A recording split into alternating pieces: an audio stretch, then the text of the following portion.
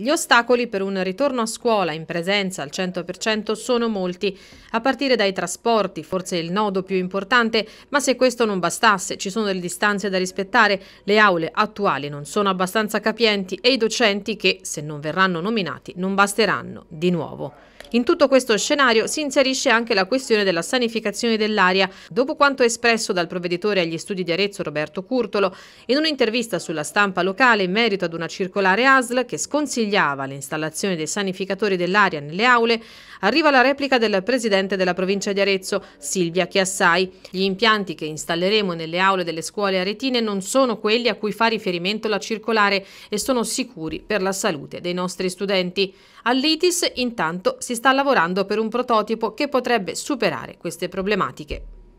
Beh, noi nella nostra scuola lavoriamo anche assieme ad alcune aziende de del territorio per portare avanti la questione, perché recentemente siamo entrati in contatto con, eh, un'alta autorità scientifica a questo riguardo, che è il professor Giorgio Buonanno, e eh, con lui abbiamo convenuto una strategia da adottare nella nostra scuola e poi magari la riproporremo anche altrove.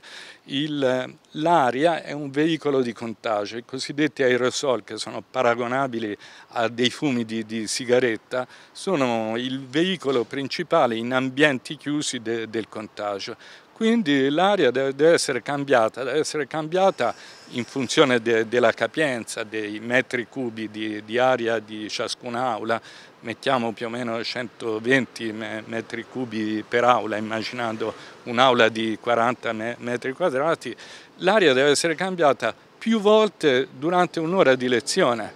E per questo, eh, diciamo così, occorrono de degli impianti che abbiano questa capacità di aspirare e contestualmente di, di purificare l'aria e, e, e metterla sterile. Dal nostro punto di vista conviene non tanto adottare dei sanificatori ma quanto prelevare l'aria dall'esterno, purificarla e poi utilizzarla all'interno de, delle nostre aule. Questo fra l'altro eh, servirebbe anche diciamo così, in funzione antiallergica perché poi i pollini, i polveri eh, diciamo così, provocano anche le, le allergie de, dei nostri ragazzi, quindi potrebbe essere un investimento di, di lunga gittata e piuttosto interessante.